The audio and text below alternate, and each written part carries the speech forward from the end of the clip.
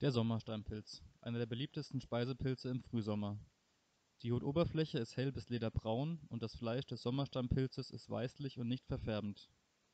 Auch die Röhren unterhalb des Hutes sind weißlich und im Alter olivgrün. Der Stiel ist weißlich und bräunlich überfasert. Außerdem besitzt er ein weißes, im Alter ein bräunliches Netz. Sein Geschmack ist mild angenehm pilzig, nussig und er ist einer der wenigen, auch roh essbaren Pilze.